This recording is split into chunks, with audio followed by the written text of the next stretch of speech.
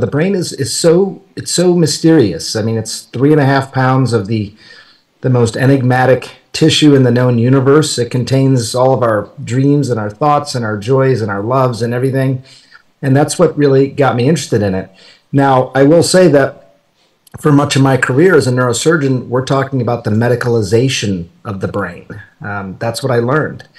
Um, how to to address problems such as tumors and blood collections on top of the brain, things like that. I think it was really over the last 20 years now, especially as a journalist, where I started to do these deeper investigations and to to sort of look at the brain in, in a different way, uh, not just treatment of disease, but optimization of brain. And I sort of got to the point now where I think we are thinking of the brain the same way we thought about the heart a quarter century ago. We thought it was just you got what you got, that was it, nothing to be done. That's how we thought about the heart. Um, that is how we thought about the brain, and neither one of those things are true. And I think that's really inspiring that we mm-hmm. can actually improve our brain function throughout our lives. We've we've come so far.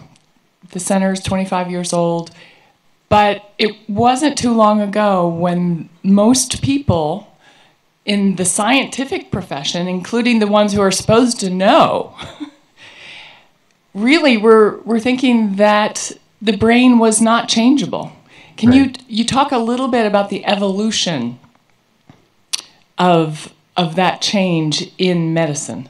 I think the idea of of treatment of a brain problem, diagnosing the problem and then treatment of the problem. That was where and and really frankly is still where most of the attention is is placed. Uh, understandably, people come in with a particular problem and you diagnose that problem and then it's treated.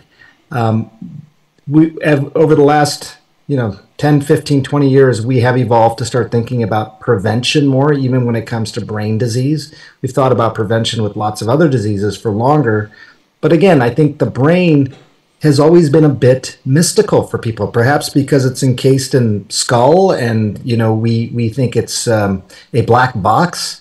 A black box is something that can be measured by its inputs and its outputs but you can't really see the machinations of how it works.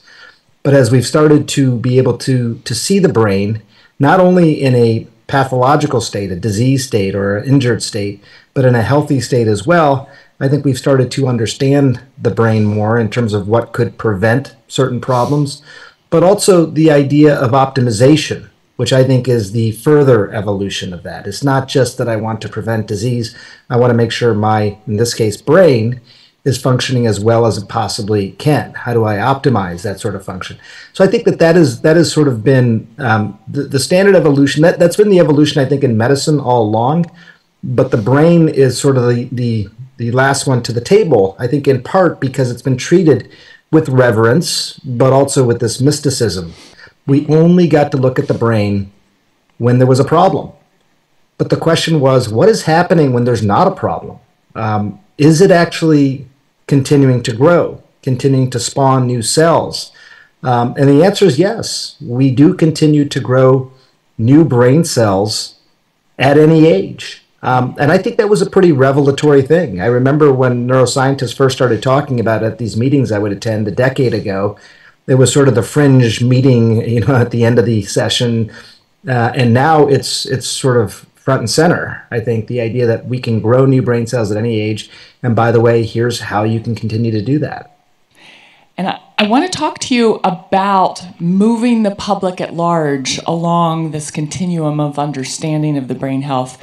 We, we're all humans. Why are there some places where this just does not occur as much as it does here? And are there lessons that we can learn from those places and then apply them here? My parents are both automotive engineers. So every time I would come home from medical school or whatever and talk about what I'd learned, they'd say, "Oh, well, that's just like the car. You know, you got to add more oil over here. You got to make sure the brakes are running well. You know, you got to make sure you can accelerate and decelerate quickly. That you're not overheating the car. And what is happening during sleep to your brain? What is happening during stress to your brain? When you start to understand those things, I think it fundamentally changes how you you react, um, how you take care of your brain. I meditate every day now what I've realized, um, Sarah, is that people say, I want to live a life without stress. That's not a good idea.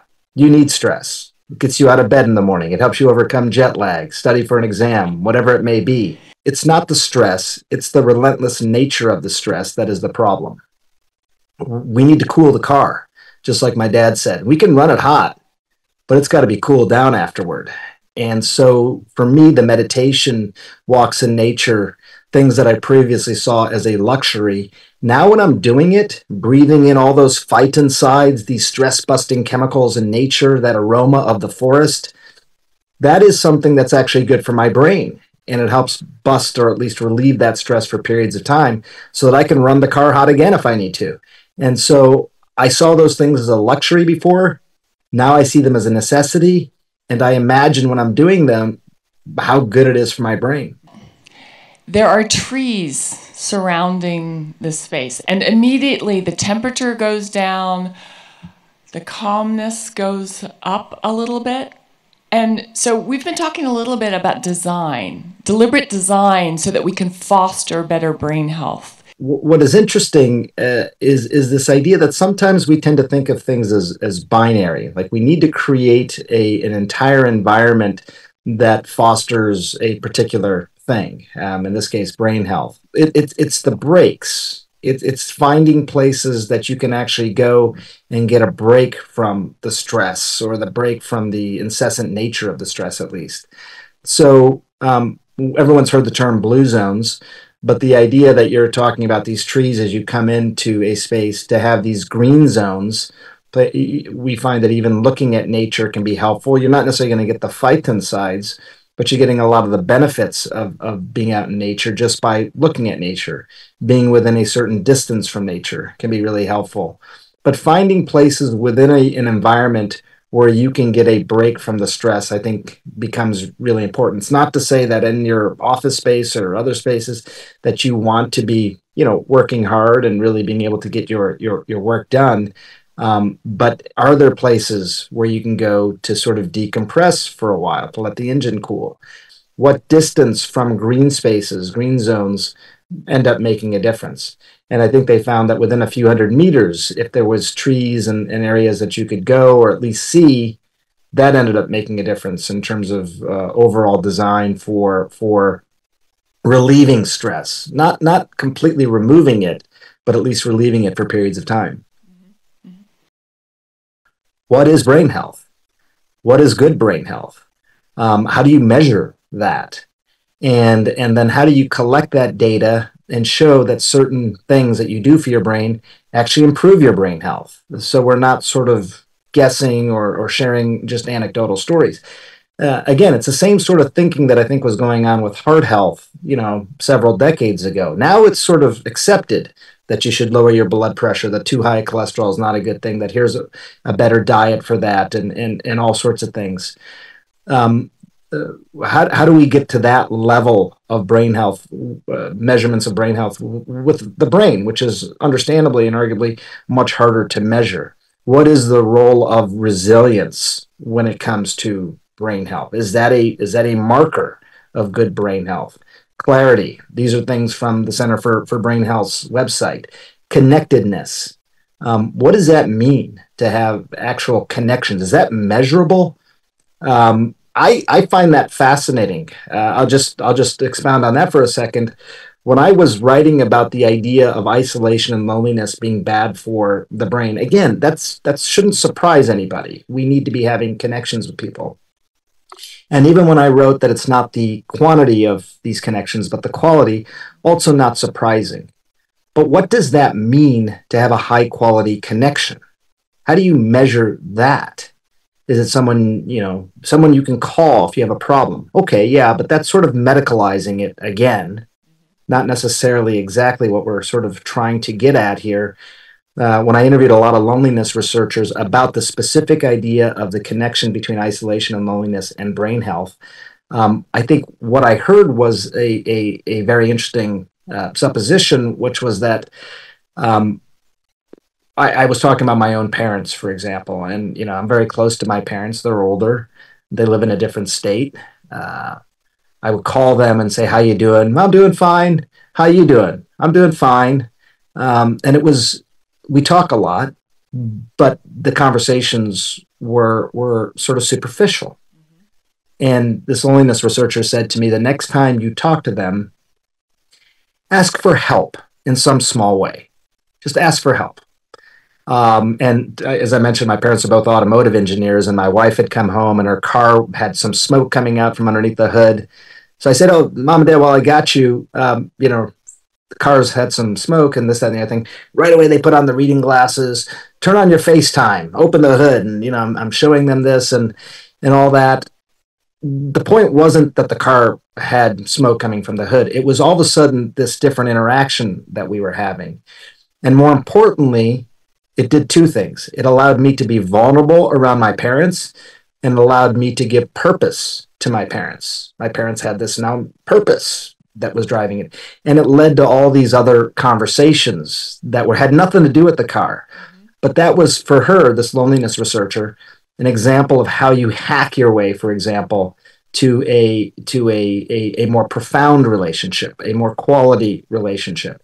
So uh, it's a long answer to your question, but I think you know understanding what the factors are for the optimization of brain health, being able to me- to really define those, being able to measure those for people, uh, such as I think the Center for Brain Health does, and and other people talk about this a lot. But the idea of what is the value of clarity, what is the value of connectedness, what is the value of emotional balance slash resilience, um, and then following those things over time with interventions hey, when you sleep, you know, you're consolidating long memories, you're you're clearing away waste, and look what that's done for the clarity of your thinking.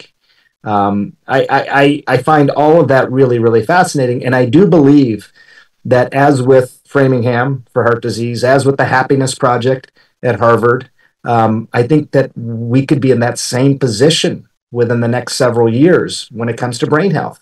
That it's not just going to feel like anecdotal, like, yeah, I know I should do good things for my brain but actually really, really um, prescriptive in a way that is accessible for people. That this is what I do for good brain health, and it becomes a way of of life for people. That's a dream, but it's a really, really good dream and attainable, I would say. And we're just yeah. the group to do it. No, you see, that's the whole point is that you can you can continue to improve your your brain at any age. So you know, if you keep that car running and you know you you take good care of it, could actually last a long time. 90% of the attention has been focused on probably 10% of the problem when it comes to brain issues. And and you know, again, some of that is understandable. Someone comes in with a brain injury, you need to take care of that brain injury. If they have a blood collection on top of the brain, an epidural hematoma or a subdural, that needs to be relieved so that you can take pressure off the brain or, or whatever the problem may be.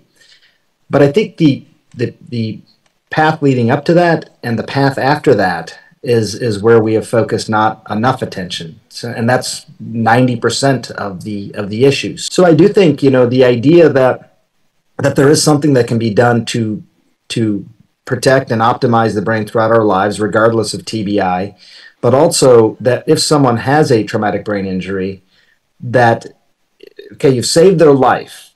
That's great and very very important. Don't get me wrong. It's it's part of what attracted me to neurosurgery but the aftermath of that, like all the various things that can be done to now uh, improve and even optimize their brain function after something like that, is where more attention needs to be focused.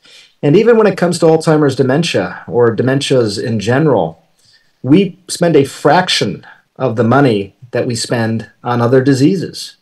I, I, think in some ways it almost feels like um, there's been a throwing in of the towel sometimes when it comes to to the optimization of, of brain health. Um, I think it's starting to change. Here, here's something I would suggest you do every day for your brain. Um, go for a brisk walk with a close friend and talk about your problems. It incorporated for me many things brisk walking for all the reasons we talked about earlier, the connectedness of actually calling up a friend and doing that, that quality connection.